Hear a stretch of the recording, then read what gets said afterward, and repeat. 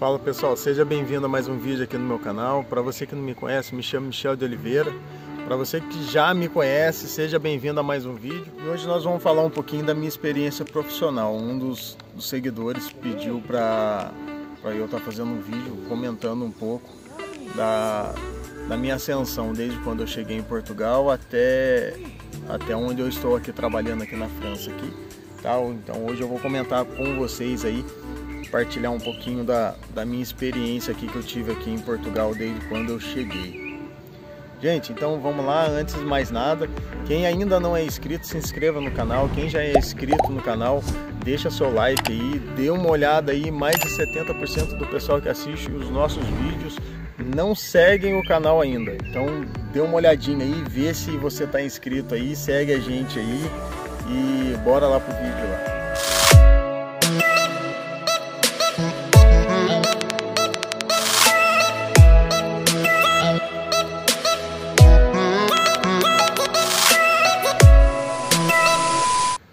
Pessoal, então, como todo mundo, né, quando a gente chega aqui em Portugal, a gente sempre pensa, é, vou trabalhar com o quê, né? Será que eu vou conseguir trabalhar com, com, a, com a minha profissão, com a profissão que eu tenho no Brasil? E comigo acabou não sendo diferente. Eu, eu quando eu cheguei em Portugal, eu tive que trabalhar como servente de pedreiro. E a primeira empresa que eu, que eu trabalhei, ela foi uma, uma empresa de, de felgueiras, tá? O nome da empresa era Felgwork. É, os trabalhos eram feitos lá em Lisboa, então logo de cara eu já tive que trabalhar para fora já e tive que deixar a Bruninha em casa. Ia para a semana, ia para Lisboa, ficava lá a semana e voltava para casa nos finais de semana. Esse emprego aí não durou tanto. É, como eu já comentei aqui com vocês aqui, é, esse emprego ele serviu mais para eu estar tá tirando um dos documentos que eu precisava, precisava muito e essa empresa me ajudou aí a estar tá tirando esse documento que era o, o NIS. Ela forneceu o NIS e por causa da distância eu preferi não ficar nela também, era um trabalho meio meio estranho demais, sabe? Sugava muita gente, o salário não era aquele salário e qualquer coisinha era motivo para estar tá, tá fazendo desconto do salário, né? Aí eu fiquei um mês nessa empresa e já vim, já subi para o porto de novo. Um desses trabalhos que eu tive nessa empresa, tive até um, um pequeno problema com, com um dos encarregados, que era responsável da, da obra. Ele, ele meio que ficou me perseguindo, né, pelo fato de eu ser brasileiro. É, tive que chamar a polícia, tudo. A polícia foi lá para a obra lá e deu uma confusão. Isso aí foi um, um dia antes de eu estar. Tá, a gente estar tá tendo que subir para o porto. Mas aí foi numa sexta, na quinta-feira, daí sexta-feira já, já subimos já para o porto depois eu não retornei mais. Aí eu fui para minha segunda empresa, daí eu entrei na ASO, a ASO ela fica ali no porto mesmo, continuei como servente de pedreiro, tá? Fiquei como servente de pedreiro ali na, na ASO, foi uma empresa assim muito legal, o Matheus ele ajudou a fazer um, um, um, um contato ali com, com o patrão. Foi um lugar que eu, que eu aprendi bastante coisa, sabe? Acabei aprendendo bastante coisa ali né, nessa empresa. Foi o meu primeiro contato que eu tive ali como ajudante ali de Pladur ali. Trabalhei com o Matheus ali um, um, bom tempo ali, tá? É, qual o motivo que eu saí da empresa? Um, que o patrão não cumpriu com o acordo que nós fizemos.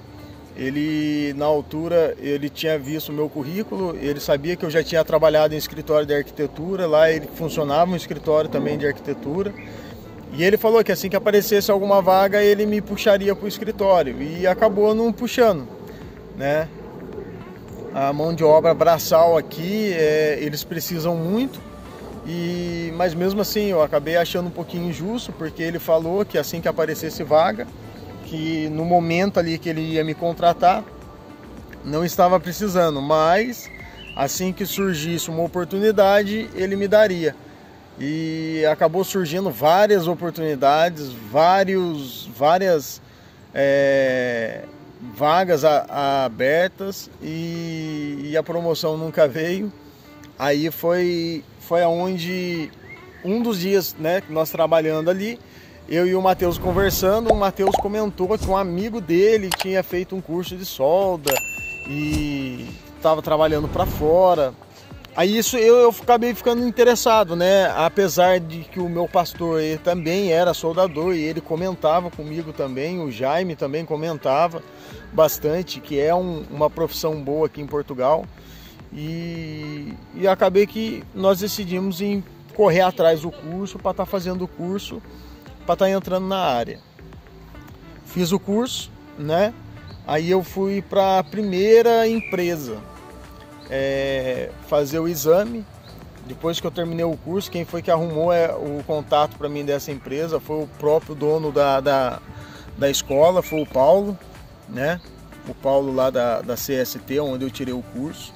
Ele conhece bastante empresa e foi ele que, que me fez essa indicação. Eu fui lá, fiz o exame, Passei no exame, apesar do exame não ter ficado lá grande coisa, mas o senhorzinho que estava lá, que estava aplicando o exame, muita gente boa, me deu aí essa, essa oportunidade.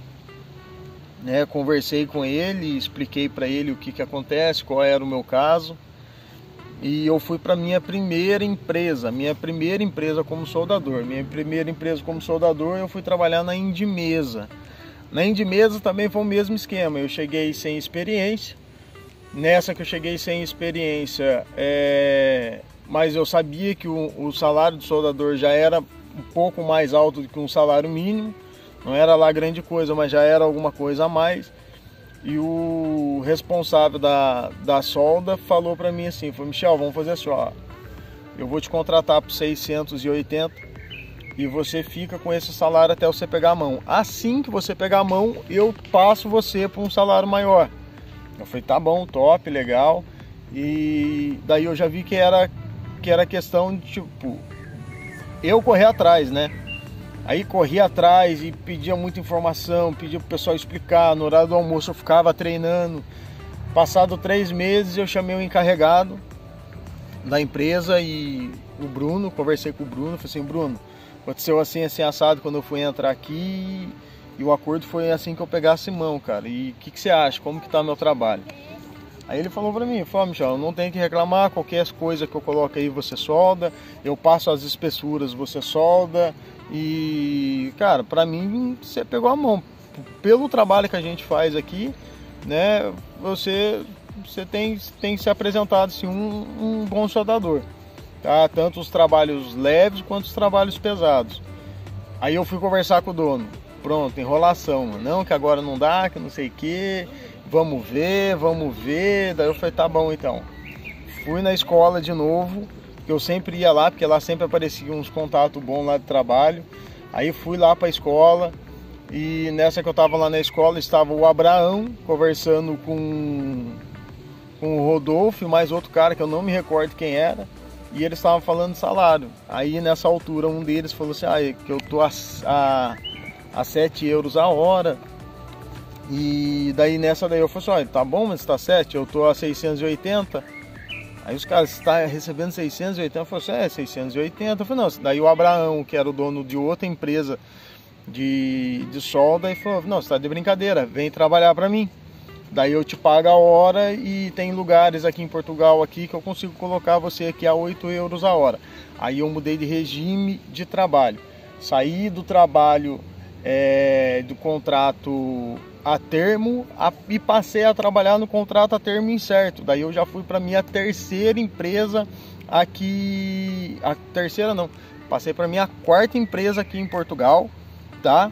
E trabalhando a, com solda né? Então é minha segunda empresa de solda. Aí eu fui trabalhar a hora para o Abraão, ele é dono da empresa Celebration. E, e a primeira empresa que ele me mandou foi para a mecânica hidráulica, tá?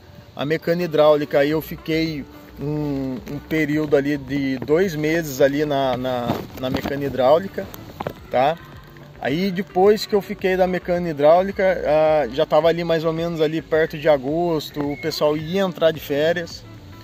É, que aqui todo mundo sabe, né? Agosto aqui o pessoal acaba entrando de férias. Nessa altura o Abraão comentou comigo que o pessoal da Caetano Bus ia estar tá precisando de, de soldador e era perto de casa. Aí o que, que ele falou? Michel, eu tô para colocar uma moça lá para trabalhar, tá? Porque o trabalho lá é mais leve e não tem como você ir lá só para segurar a vaga. Eu falei, tá bom. Aí eu fui, fiz o teste, passei no teste e comecei a trabalhar lá. Acabou que a moça acabou não indo para lá e acabou ficando eu mesmo lá. E na Caetano Bus eu fiquei um bom tempo lá. Na Caetano Bus eu acabei ficando oito meses lá na Caetano Bus. Por qual motivo que eu saí da Caetano Bus? O Covid estava começando a chegar aqui em Portugal.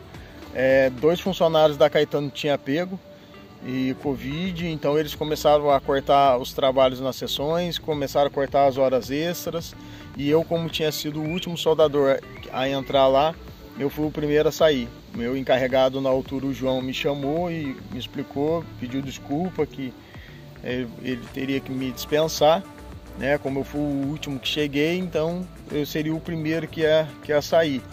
E a, o pessoal da chefia falou que ia ficar somente mais uma semana. Porém, nesses trabalhos eu acabei conhecendo o Kleber. O Kleber estava trabalhando ali na Caetano ali também com a gente e o Kleber trabalhava para um rapaz lá na Espanha. Daí o Kleber comentou comigo, Michel, meu patrão ele tá precisando de soldador, tá afim? Aí eu falei assim, cara, mas como é que tá o Covid? Eu falei, não, mas é por isso mesmo. O pessoal que é de mais idade, que já teve cirurgia no coração, eles não estão podendo subir. A empresa não está aceitando e tá, tá muito burocrático, então eles não estão subindo. Aí é oportunidade, está afim? Cara, eu abracei na hora, porque nisso daí já tinha já uma semana já que eu estava em casa e eu tinha saído da Caetano, né? E eu fui lá e abracei, nós fomos aí pro, pro meu primeiro trabalho no exterior. Aí eu fui trabalhar na PVH, lá na Espanha, em Valência, é um pouquinho longe do porto, e, mas foi aí onde, onde acabou conseguindo segurar a gente aí por, por mais 60, 60 dias, que foi o período que eu, que eu acabei ficando ficando para lá. De, depois desse período de 60 dias que, que eu acabei ficando lá para para Valença, terminou os trabalhos, né? E a gente ia voltar, ia ficar uma semana em casa, depois a gente ia retornar para os trabalhos. Só que o meu patrão não entrava em contato, não falava com a gente, e isso daí acontece muito para cá, gente, sabe? Às vezes aí é, dá o período de você ir para casa, a empresa vai manda você para casa, depois ela não te liga, o patrão não entra em contato, porque a gente ia pelos, pelo carro da empresa. E daí começou aquela enrolação e, olha, ficou só por Deus. A empresa tinha falado que eles iam entrar em contato com a gente para ver qual é a data certinho que a gente ia subir. Aí nesse, nesse momento eu vi que não ia virar nada, né? Fiquei mais um período em casa parado. Quanto tempo fiquei, amor? Depois da PVH? Uma... Junho inteiro. Então, daí depois da, desse período eu fiquei o mês de junho inteiro em casa esperando uma oportunidade, Covid comendo solto, um monte de gente perdendo emprego, um monte de gente saindo da, das empresas, um monte de empresa fechando. Aí foi quando eu entrei em contato com o Janailson, o Janailson estava trabalhando numa empresa, perguntei para ele como é que estava lá, se eles estavam precisando, o Janailson falou assim, Michel, tem um amigo meu aqui que passou um contato para mim, eu vou passar para você. Aí foi quando eu peguei o contato do pessoal da Constil, Entrei em contato com eles. No outro dia o patrão retornou para mim e no outro dia eu já estava indo para Madrid. Foi um negócio assim bem rápido. Não sabia que tinha teste, acabei chegando lá de madrugada e no outro dia tive que fazer teste. Fiz um teste, aí ali eu fiquei mais um tempo bom ali, graças a Deus. É, apesar de ser trabalhos longe, eu acabava ficando longe da, da minha esposa, ficava longe de casa, vinha, vinha para casa em 15, 15 dias, mas foi o que, que sustentou a gente, né? Foi o que segurou a gente ali em pé durante todo esse, esse período. Ali nessa empresa, nessa Constil, eu fiquei um ano e um mês nela. Fiquei um período bom. É, eu fiquei nela, o, ali no primeiro instante, eu fiquei na, na Horta Coslada, um lugar que foi uma escola para mim, aprendi muita coisa, muito trabalho pesado, muita ponte, muita estrutura metálica pesada. A mais conhecida aí foi o, estádio do, do, do, Real Madrid, e nós estávamos fazendo ali a, a parte estrutural dele. Aí foi quando eu me acidentei, aí eu sofri um acidente feio, é, quase perdi meu dedo. Um médico na altura ele virou e falou para mim que se tivesse pego um pouquinho mais pro lado, tinha pego no osso, poderia ter amputado meu dedo. Aí eu passei por uma pequena cirurgia, né, de para costurar o dedo de novo. Aí depois da Aí eu tive que esperar todo aquele, aquele período ali de, de recuperação. Aí depois que eu me recuperei, já estava mais ou menos ali pronta ali para poder estar tra tá trabalhando, tá? Porque é, foi um momento assim muito ruim, sabe? De você não estar tá recebendo da, da seguradora, não estar tá recebendo também da empresa. A empresa não deu um, um respaldo legal ali para mim. E eu acabei tendo que ligar pro patrão e falar para ele, cara, eu preciso voltar a trabalhar, mano, porque eu não posso ficar sem dinheiro, eu tenho conta para pagar, eu tenho as coisas para fazer. Ele, mas como é que tá seu dedo? Meu dedo não tá 100%, mas eu preciso voltar porque é, todo mundo sabe aqui, meu, a, a, conta vem, a conta não espera, não, não quer nem saber se você está com é, doente, não quer saber se você está lesionado ou não. Aí eu fui trabalhar na, na Fastil, lá em Aveiro, fiquei um mês e 15 dias na Fastil, porque nessa altura apareceu outro trabalho, tá? Então na Facil ali foi muito legal em Aveiro, muito top. O Hugo, encarregado geral, pessoal fantástico, um trabalho ali, pô, altamente, muito top, muito bom. É, foi um, uma das empresas que o Brunão também trabalhou diretamente por eles. Aí o Bruno aí conhecido aí do pessoal aí, amigo meu de solda. Aí eu fiquei um mês e uma semana Aí o sócio do meu chefe na altura precisou de um, de um soldador lá nos Países Bascos. Aí eles pediram para eu estar tá subindo, meu patrão explicou mais ou menos ali o que, que era e acabei sumindo, subindo, mas daí não deu, não deu muito certo. Eu ia ter que me reportar ao sócio dele, mas o sócio dele meio não falava coisa com coisa, falou uma coisa para mim, falou outra coisa para a empresa eu fiquei 15 minutos dentro da empresa e fui embora. Tá, logo após eu ter saído dessa, dessa enrascada aí que eu acabei entrando ali nos Países Bascos ali, tá? Eu voltei para Portugal, fiz al, alguns contatos, é, entrei em contato com algumas empresas, com alguns conhecidos que eu sabia que estavam trabalhando em, em alguns lugares na Espanha, na França e até mesmo em Portugal. Aí o, um amigo meu, o Bruno, o Bruno ligou para mim e falou assim, Michel, o pessoal é, me chamaram para trabalhar na CMP, lá na França, está afim? Eu falei assim, pô, bora Bruno, eu tava precisando de trabalho, cara, eu tava correndo atrás. Ele falou, então legal, então, então me chamaram e perguntaram para mim se eu tinha algum conhecido.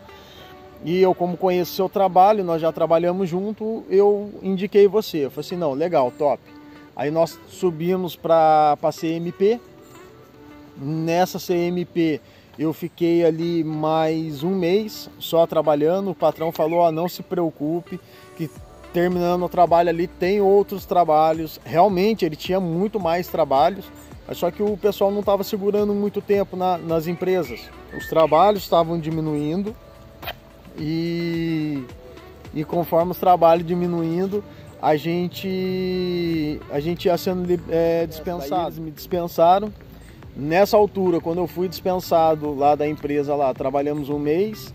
Aí o Bruno conseguiu segurar mais um período que ele ia para outra empresa, né? O patrão começou a fazer a, a, a locomover o pessoal, ia jogar para um lado, ia jogar para o outro. A empresa que eu ia ser mandado Aí eles acabaram ligando lá e falando assim, ó, deu problema na documentação, nós vamos ter que esperar mais um período. E o meu patrão não podia me pagar lá parado. Porque como todo mundo sabe, parado a gente não ganha aqui aqui trabalhando para fora, tá?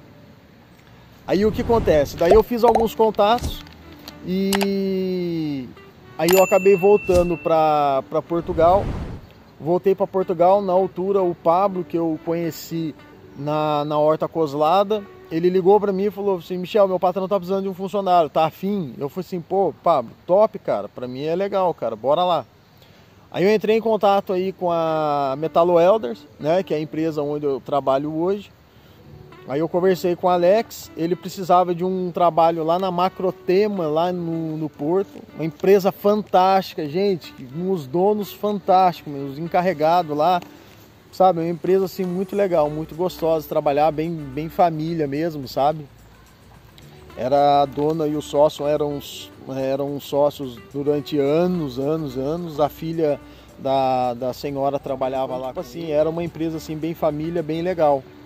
Aí nessa empresa eu fiquei pouco tempo. Nessa empresa eu fiquei quase um mês trabalhando nela porque eu fui contratado porque toda a equipe ia fazer uma parada e era eles que faziam essa parada e ali os trabalhos não poderiam ficar parados. Então eu fui para trabalhar dentro da empresa e por enquanto que os funcionários faziam a parada. Aí terminou esse, esse trabalho e a dona acabou gostando do meu trabalho, ela começou a tentar me segurar lá, né, para eu continuar trabalhando ali. Mas daí na altura apareceu um trabalho na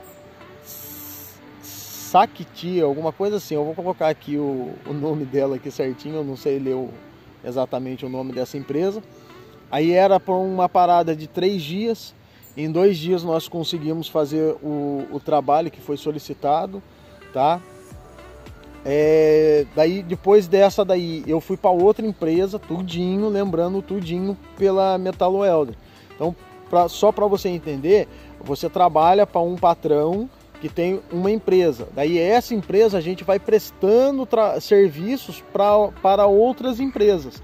Tá? Por isso que às vezes você entra, fica uma semana, vai para outra, fica dois meses, vai para outra, fica um ano, depois vai para outra, fica seis meses. Então a gente não tem é, local fixo de trabalho. A única coisa ruim de trabalhar a hora é isso daí, tá?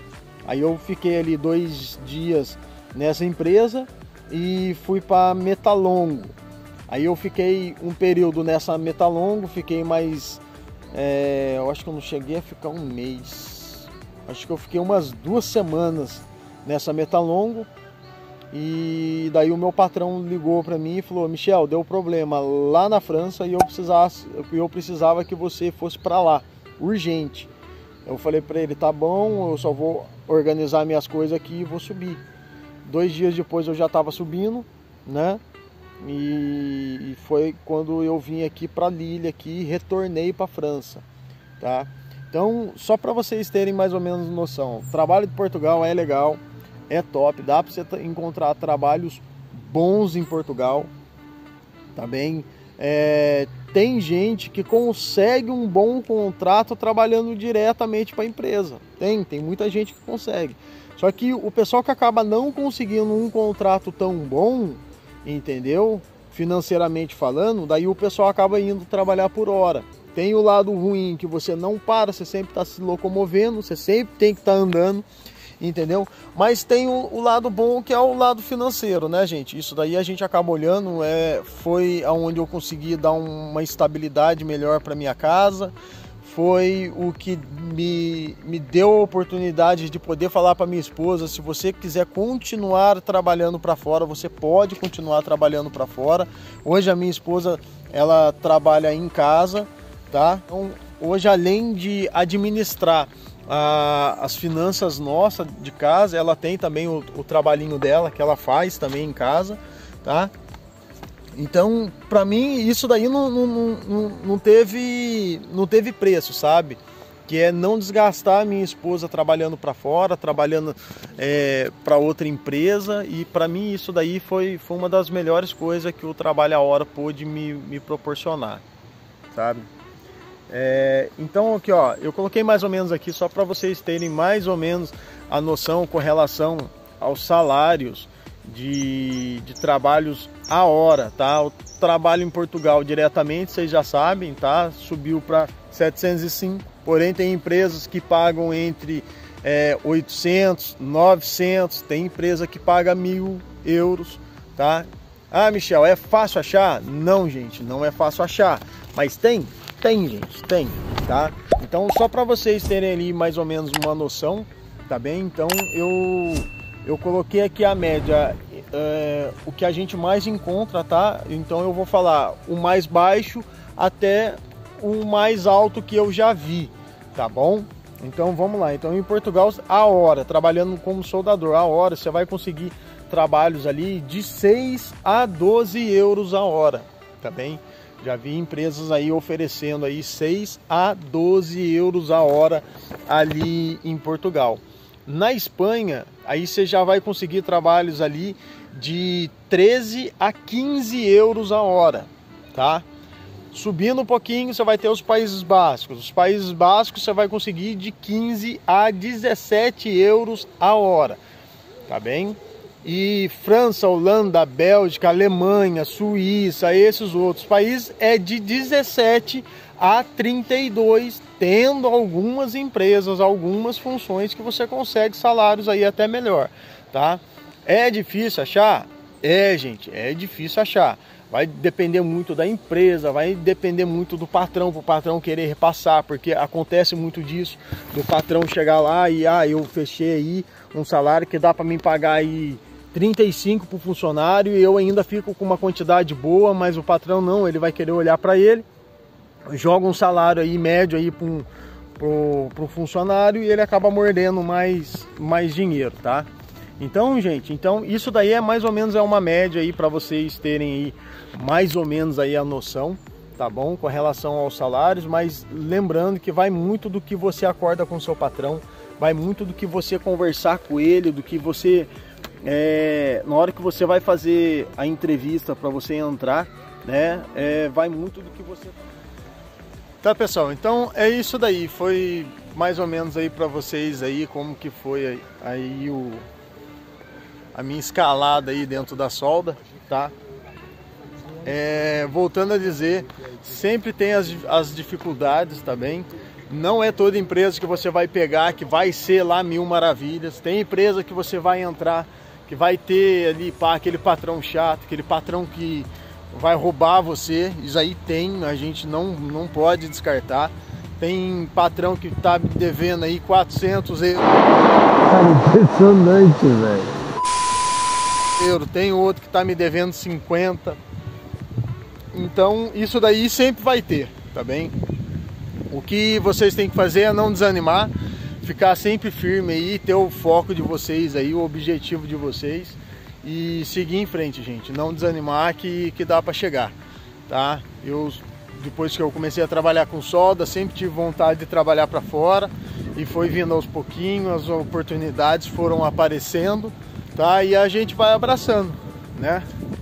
É, como todo mundo já sabe, eu não tenho tanta experiência assim com solda, mas ali a dedicação ali, tentando fazer um trabalho bem feito, Deus foi abrindo as portas aí para mim aí, né? E graças a Deus eu tô aqui onde eu estou hoje, tá bem? Então não se esqueça, curta o vídeo, comenta, compartilha aí com um amigo aí que tem tem curiosidade aí de saber mais ou menos aí como que funciona aqui os trabalhos aqui em Portugal, tá bem? Gente, tamo junto, valeu aí, obrigado aí, até semana que vem.